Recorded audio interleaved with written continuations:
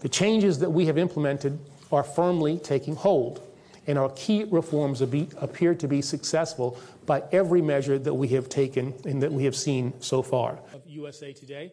Uh, for inviting me to be here this afternoon, the National Press Club's officers.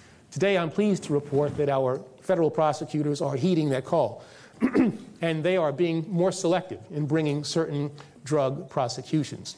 Between 2013 and 2014, the number of defendants charged with drug trafficking offenses declined by nearly 1,400 individuals. And this is a reduction of more than 6%.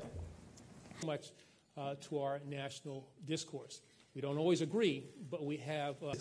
In 2013, before Smart on Crime was implemented, the average guideline minimum for federal drug, drug prosecutions, in other words, the average suggested minimum prison term for an individual being charged for a drug crime was 96 months.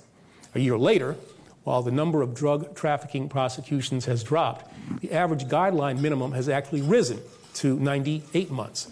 Now, this demonstrates that the most serious drug crimes are now attracting the highest scrutiny.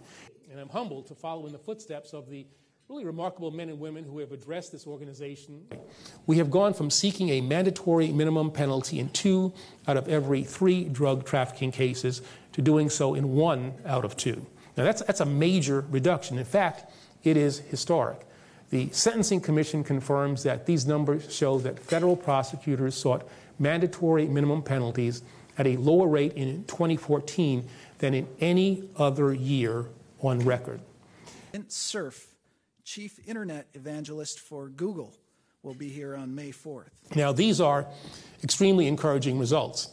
And they demonstrate that since we launched the Smart on Crime initiative, the federal criminal justice system has begun to operate more efficiently by reducing its involvement in low level criminal activity, more effectively by targeting the most serious crimes, and more fairly by ensuring that those who are convicted of crimes receive sentences that are commensurate with their conduct.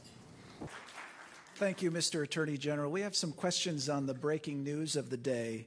Um, I think that we have to look at this um, decision for what it is. It is the, um, a decision by one uh, federal district court judge.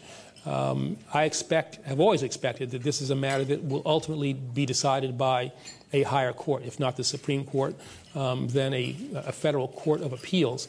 And so I think it has to be seen um, in that context. Thank you, Mr. Attorney General, for, for coming here particularly